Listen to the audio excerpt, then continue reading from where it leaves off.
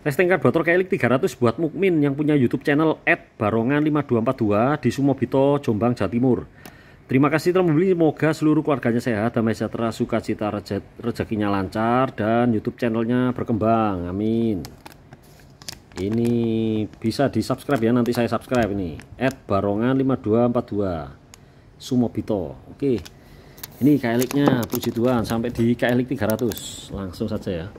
Seperti biasanya starternya pasti chair ya. Chair tanpa bantuan dorongan gas mesin sudah secara natural hidup.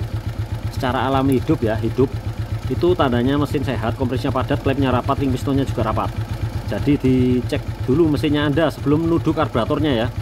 Sebab ini sudah contohnya ini. Saya starter langsung chair tidak lupa ini filter udaranya wajib long ya. Diperhatikan tuas gasnya nih ya.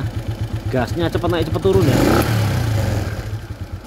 langsung senyap ya. Langsung naik. Cepat naik langsung turun.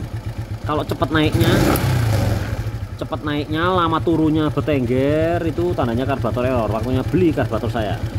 Gas kecilnya sekarang gradual naik.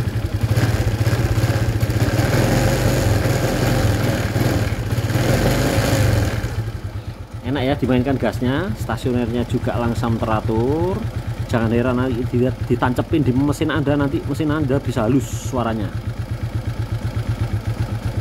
Oke saya matikan dulu. Sebab ini karbujektor karburator rasa injektor ya. Ini sudah puncak riset saya ini. Paling irit spesialis irit. Oke sekian. Oh ya tidak lupa ya Mas Mukmin wajib ya lihat di YouTube saya lainnya. Diketik aja judulnya.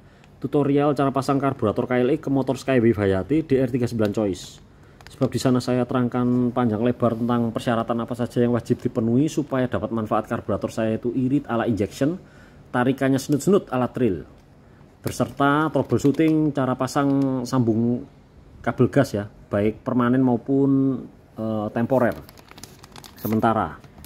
Oke, sekian terima kasih dan tentu saja selamat menikmati.